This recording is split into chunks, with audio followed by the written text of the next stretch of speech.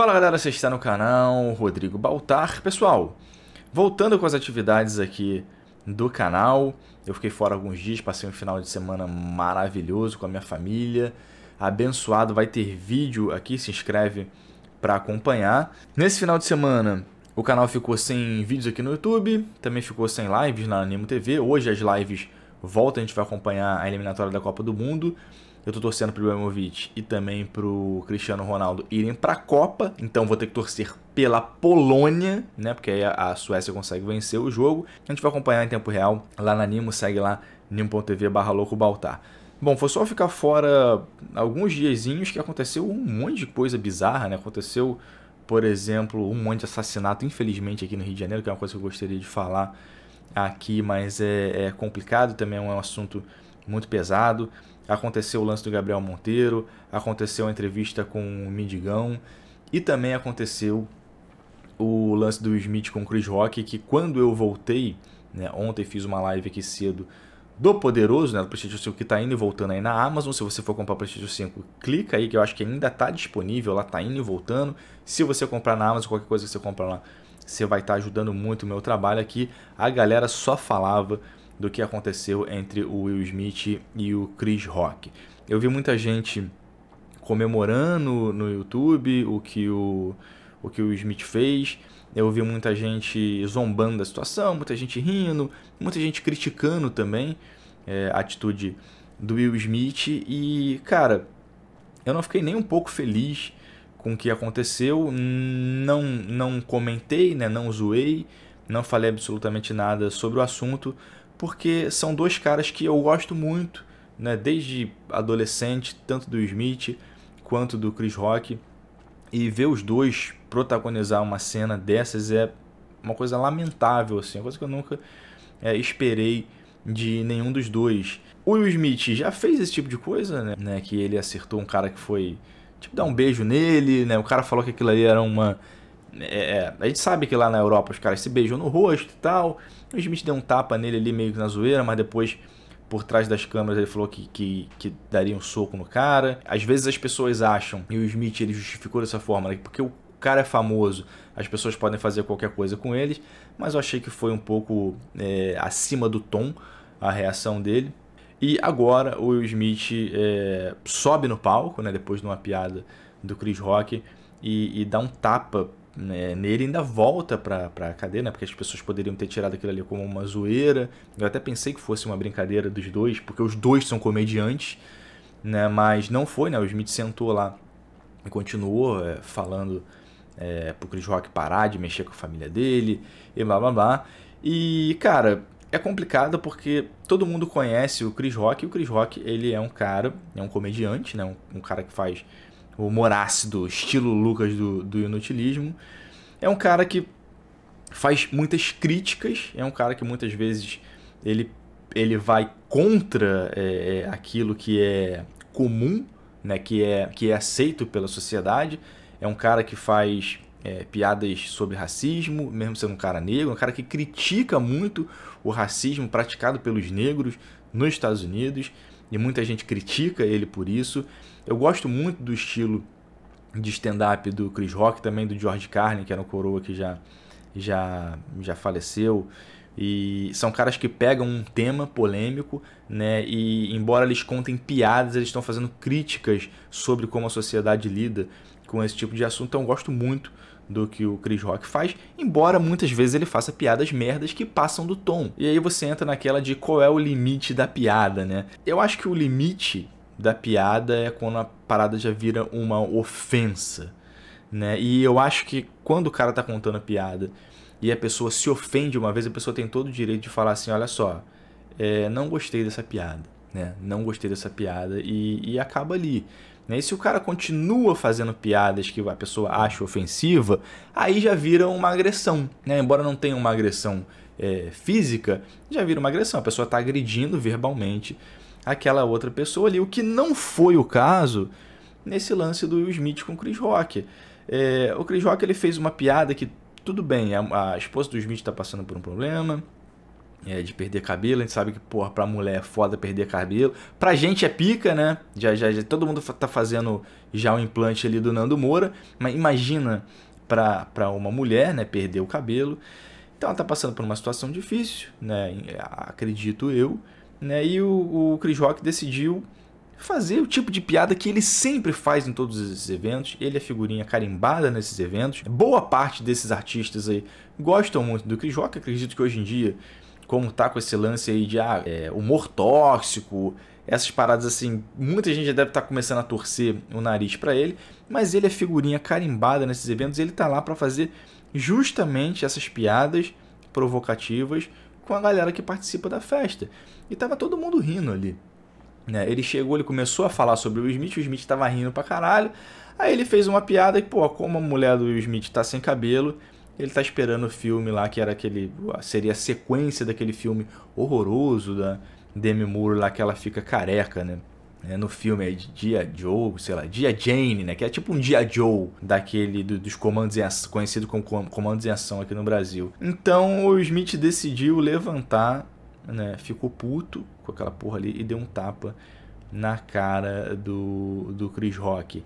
É tudo bem que a mulher, parece que a mulher ficou puta, né? Porque a mulher virou assim, porra, mais uma vez, né, o Chris Rock me zoando, que parece que ele já tinha dado uma zoada nele, nela, e no Will Smith por conta deles ficarem fora do Oscar em 2016, porque não teriam atores negros sendo indicados na academia, então eles decidiram boicotar a parada e o Chris Rock foi lá e fez uma piada, falou: "Porra, eu sou negro, eu tô aqui, né? Tô sempre aqui". Tudo bem que não foram como indicado, né, mas ele tá sempre lá participando da parada. Então, ele sempre fez essas piadas que são críticas. O Will Smith é óbvio que ele teria espaço em qualquer lugar do mundo, né, em qualquer tipo de mídia, é, qualquer lugar, jornal, televisão, programa, qualquer coisa, ele poderia pedir né, é, é para dar uma resposta pro Chris Rock e falar, olha só, cara, você brincou com a minha mulher ali, a gente está passando um momento difícil, é, eu acho que tem certo tipo de coisa que a gente não deve brincar. Porra, ele podia ter feito qualquer coisa, cara qualquer coisa. Pô, menos subir ali e dar um tapa na cara do maluco. E o cara ainda, o cara ainda tirou aquilo ali como uma. É, ele ficou bolado, óbvio, né? Mas ele falou assim: pô, acabei de levar uma surra do Will Smith e disse também que não ia registrar boletim de ocorrência, de agressão e nada disso. Depois disseram que o Denzel Washington tava lá consolando o Will Smith, que o Smith estava chorando e blá blá blá. Pô, imagino que seja uma situação difícil que o cara tá vivendo com a família dele, mas aquilo ali era uma festa, cara. É um local de brincadeira. Pô, o cara, o cara não subiu no palco. O Chris Rock falando assim, porra, hoje eu vou ofender o Will Smith e a esposa dele, vou acabar com a noite deles. Foi uma brincadeira. Tudo bem que foi uma brincadeira merda, que passou do ponto. Né? Quando ele começou a brincar com o Smith, ele, o Smith tava rindo. Talvez o cara tenha, tenha esse. É, tudo bem que eles escrevem essas piadas antes, né? Mas o cara meio que foi dando liberdade ali e caralho, não, a hora parou aí. Me lembrou muito aquele filme do. Do A Família da Noiva, lembra? Que, que é, o, é o Ashton Kutcher com aquele Bernie Mac, é um filme sensacional. Eles estão sentados lá, né? O cara é branco e namora com uma menina que é negra, e a família dela toda é negra. E eles estão sentados ali na hora do almoço e os caras começam a falar: pô, faz piada de negro aí, faz piada de negro aí. E o cara, não, não. Aí eles insistem tanto que o maluco faz uma piada. Né? Aí os caras riem pra caralho, todo mundo ri, todo mundo ri. Aí o cara, pô, faz outra, faz outra. Aí ele conta uma outra piada e todo mundo ri. Aí, faz outra, faz outra. Ele conta outra piada todo mundo ri. Pô, mas não, mais uma, mais uma. E pô, mais uma. Ele faz uma piada todo mundo fica puto. Né? Então, tipo assim, ele foi zoando, zoou um, todo mundo riu. Zoou, todo mundo riu. Zoou, todo mundo riu. Zoou, cara, não, agora acabou. Agora eu vou lá e vou dar um tapa na cara do maluco. Eu achei péssimo, né? Péssimo. E isso porque são dois caras que eu gosto muito né? Gosto muito. Eu entendo que, porra, pô, tava defendendo a família dele, mas acho que tem outras formas. Porque o cara não fez aquilo ali na intenção de ofender. Ele fez aquilo ali na intenção de brincar, por mais que tenha sido uma brincadeira muito merda. E aí a gente pode traçar um paralelo até né, com o, o Mendigão, porque tem muita gente aplaudindo o que o Smith fez. E quando o cara lá defendeu a mulher dele, né, o, a mulher dele, que na minha opinião, alguma coisa muito doida aconteceu ali, né, no lance do mendigão. E o cara viu, né, a mulher dele dentro do carro com o mendigo, em frente à casa dele, E o cara foi lá, porra, cara, o que, que está acontecendo? O cara tá com a minha mulher dentro do carro. Caralho, eu conheço a minha mulher. Eu sei que ela não faria isso. O cara foi lá e acertou o mendigo, né? É... E depois parece que a mulher dele tava meio doida e tal. Eu acho que talvez eu faça até um vídeo só sobre essa porra. Mas as pessoas estão putas com esse cara que, que, que defendeu a mulher dele. Né? Na minha opinião, ele defendeu a mulher dele de um estranho. Né?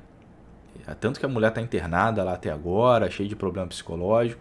Né? A mulher não estava traindo o cara. Aconteceu alguma coisa muito doida com a mulher ali. Eu não sei o que, que é, eu não sou especialista. Mas ela tá é, com laudo psiquiátrico lá e tal, né? Dizendo que ela teve algum tipo de, de, de surto. E. Pô, o cara defendeu a mulher dele, na minha opinião, né? E ele deixou me bateu lá, deu umas porradas no mendigo, deixou o mendigo embora.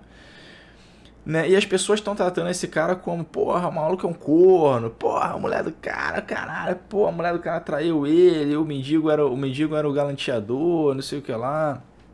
É, esse cara é um merda, né? O cara agressivo, não era para ter batido, só bateu no mendigo porque é corno. Quer dizer, as pessoas estão rechaçando a atitude do cara, né? Mas as pessoas estão aplaudindo a atitude do Smith, que bateu num comediante, né, que tá lá para fazer piada por mais merda que seja, né? O cara foi contratado para fazer piada e para zoar os participantes ali.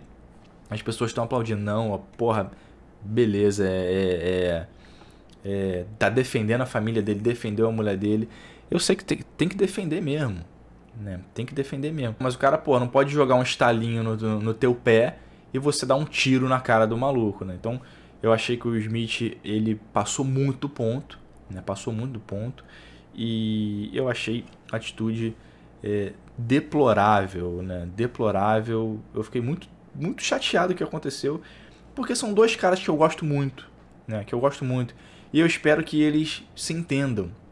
E eu espero que o Smith é, peça desculpas, né? E o Chris Rock ele até reconheceu ali, ele falou, pô, quando ele fez a piada, né? Algumas pessoas devem ter. A mulher virou o rosto assim e falou assim: Ah, pô, foi uma piada boa, né? Essa piada foi boa. A gente não sabe como as pessoas lidam com os problemas, mas muitas vezes a gente lida com problemas é, com humor.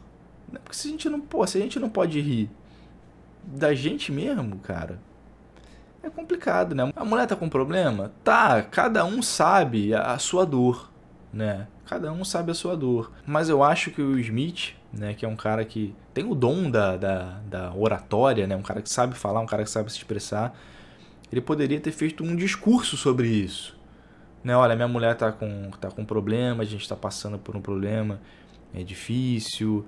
É, pô, falar sobre. Pô, ele poderia ter feito isso de uma forma muito mais elegante, né? Porque o Smith é um cara, é um artista de, de, da elite, né? É um dos melhores que a gente tem aí atualmente já há muito tempo, né? Ele poderia ter se saído muito melhor nessa situação do que pô, subido lá e dado um tapa na cara do maluco, né? Eu acredito que a situação toda ainda vai dar muito pano para manga, né? Vai começar essa, essa, essa discussão de ah, até onde vai o limite do humor e o caralho. Eu sei que é foda, né? É complicado, porque as pessoas se ofendem, mas tem muita gente que se ofende com muito pouco. Tem muita gente que se ofende com muito pouco. Mais uma vez, eu achei que a piada nem foi tão ruim assim e não foi é, ofensiva, né? Não foi ofensiva. Eu sei que pelo momento ali as coisas podem estar muito difíceis para o Smith, mas ele tá e para a mulher dele, né? Mas eles estavam ali num momento de descontração e por mais que tenha ofendido, ele poderia ter saído melhor, feito um discurso falando sobre isso ou até mesmo falando sobre o problema da mulher dele, que já é já é publicamente conhecido. Então essa é a minha opinião. Eu achei que ele vacilou e eu achei que o Chris Rock ele talvez tenha passado é, um pouco do ponto. É, ele já fez coisa muito pior, né? Já fez piada muito pior. Tipo assim, eu não deixo de, de gostar dele por conta disso. Falo, pô, é uma piada merda, uma piada que eu não faria, uma piada que eu não achei graça, né? Mas é, espero que ele também repense aí algumas coisas, porque realmente tem algumas piadas que não tem a mínima graça, mas até você agredir outra pessoa. Bom, pessoal, é isso aí, eu vou ficar por aqui. Aguardo vocês hoje lá na Nimo para te acompanhar a eliminatória europeia. E é isso aí, vamos voltando com as atividades do canal. Tenham todos uma boa semana, um grande abraço, até a próxima.